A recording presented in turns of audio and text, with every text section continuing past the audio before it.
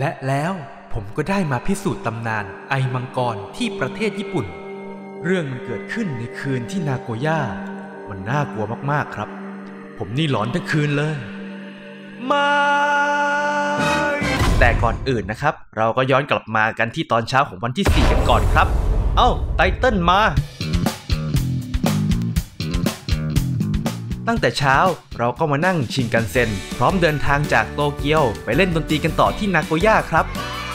นี่ก็เป็นครั้งแรกนะครับที่ได้มานั่งชินกันเซ็นฮะ ในเมืองก็ยังวิ่งเร็วไม่เท่าไหร่ครับ เหมือนนั่งรถไฟธรรมดา ค่าเดินทางเที่ยวเดียวก็ตกประมาณเป็นเงินไทยราวๆ3,000 บาท เอาเรื่องอยู่เหมือนกันนะฮะ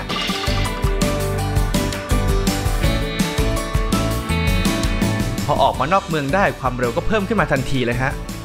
เร็วจนเสาไฟฟ้าเบี้ยวเลยฮะเอ่อไม่ใช่นะฮะ แค่กล้องเกิด rolling shutter ครับ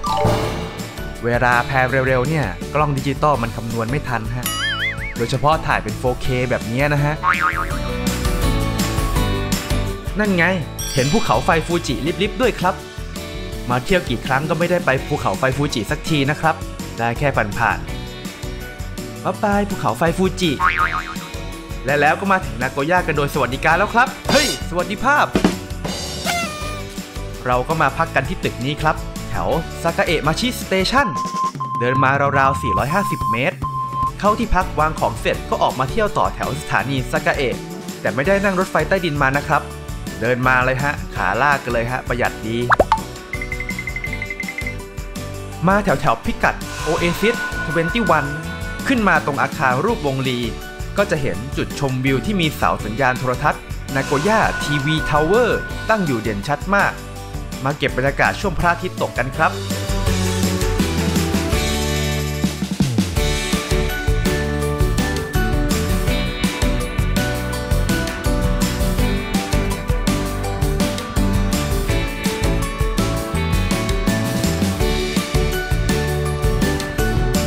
เห็นว่าตอนกลางคืนตรงพื้นเนี่ยก็จะติดไฟด้วยนะฮะ ยังไงไว้เดี๋ยวจะแวะมาดูช่วงกลางคืนอีกทีดีกว่า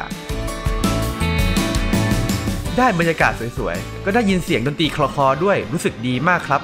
ก็ตามไปดูบริเวณด้านล่าง เหมือนจะมีโชว์ประกวดเล่นดนตรีออเคสตรากันด้วย เป็นคนแพ้เพลงแนวนี้อยู่แล้วนะฮะเลยหยุดฟังสักหน่อยครับ ลองมาฟังฝีมือของนักดนตรีนาโกย่ากันดีกว่าครับ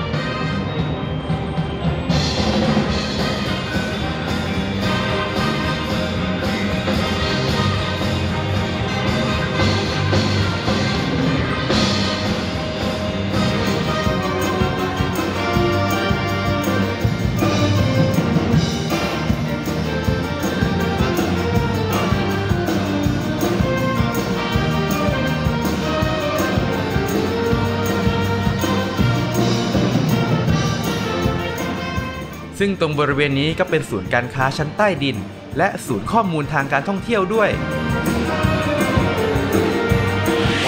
เดินทางด้วยรถไฟใต้ดินจริง ๆ สักที มาถึงสถานีฟูจิมิ ผมก็เดินตามหาสถานที่ที่แนะนำทางเว็บไซต์เลยครับ มาถึงพิพิธภัณฑ์วิทยาศาสตร์เมืองนาโกย่า มาถึงก็ช่วงหัวค่ำแล้วนะฮะ ผมก็มาหามุมถ่ายรูปที่เดียวกับที่เว็บไซต์ถ่ายกันมาเลยฮะบริเวณข้างหน้าก็เป็นสนามสันทนาการกว้างๆครับ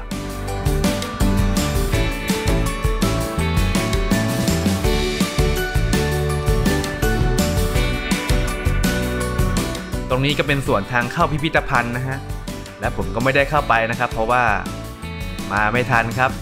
ปิดอีกแล้วนะฮะ ก็ได้เห็นเฉพาะห้องด้านล่างไม่ได้เข้าไปด้านในครับ เสียดายอยู่เหมือนกันนะฮะเนี่ยก็คิดว่าจะกลับมาครับ แต่ว่าไม่เอาดีกว่านะครับ ไปเที่ยวที่อื่นดีกว่า ตัดฉากมาที่นี่กันดีกว่าครับ มาที่โอสุช้อปปิ้งสตรีทขึ้นมาจากสถานีก็ต้องเดินผ่านวัดโอสุแคนนอนก่อนครับดึกขนาดนี้ปิดแล้วแน่นอนนะ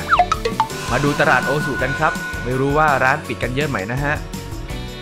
อันนี้เป็นร้านแนวๆชื่อ Alice in Wednesday เวลาเข้าไปก็ต้องสุภาพหน่อยครับ เดินก้มหัวเข้าไปนะครับ ไม่ใช่อะไรฮะ ประตูมันเล็กนะฮะ ไม่ก้มหัวเนี่ยก็หัวโขกหงายแน่นอนฮะ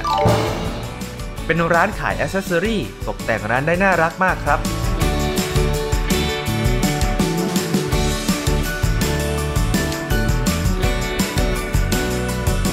ไม่ซื้อนะฮะ เดินนิ่งๆ ออกมาเฉยๆครับ มาเดินชมตลาดกันต่อดีกว่าครับ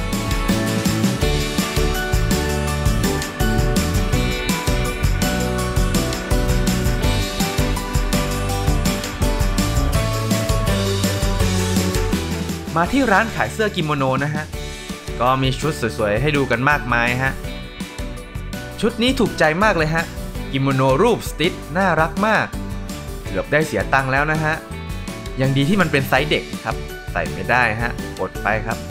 อดซื้อไปเลยนะฮะ คิดในแง่ดีอย่างน้อยก็ไม่ได้เสียตังค์นะฮะ เดินชมบรรยากาศตลาดตอนสามทุ่มกันครับ หลายๆ ร้านก็ยังสู้ตายเปิดทำการอยู่เลยฮะ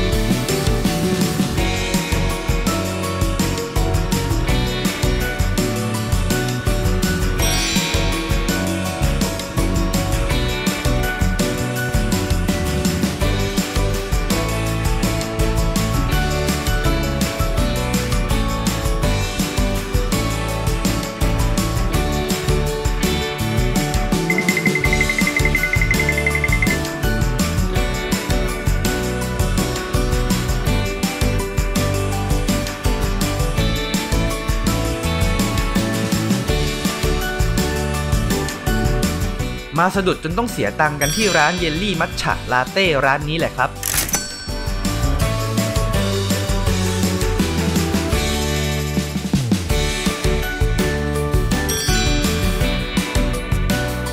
ก็เป็นนมนะครับใส่มัทฉะจะบอกว่าอร่อยก็ธรรมดาฮะ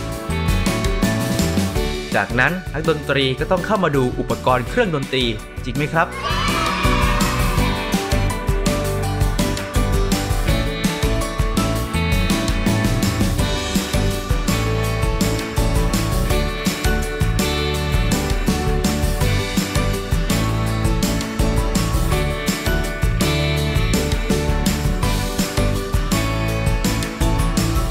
ประทับใจอีกจุดหนึ่งก็คือตลาดนี้มีศาลเจ้าด้วยครับ อยู่ตรงข้ามร้านเกมกันเลยทีเดียวนะฮะ ประดับไปด้วยโคมไฟสวยดีครับ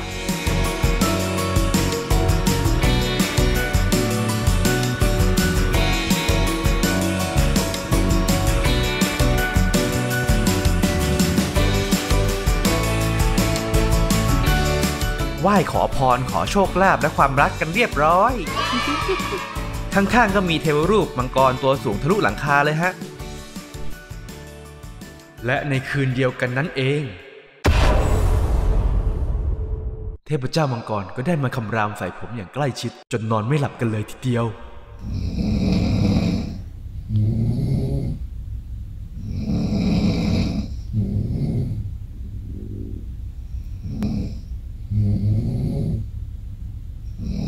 เอ่อคือมันอย่างนี้ครับ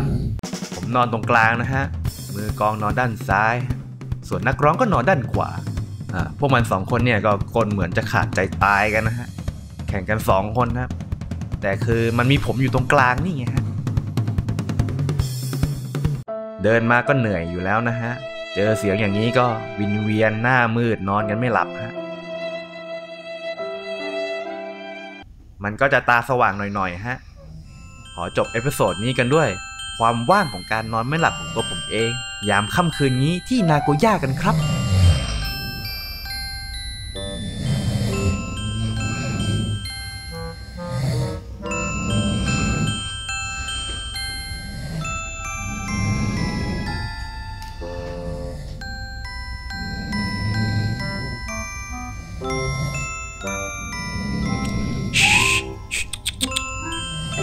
อย่าเสียงดังกันนะครับ เดี๋ยวมังกรตื่น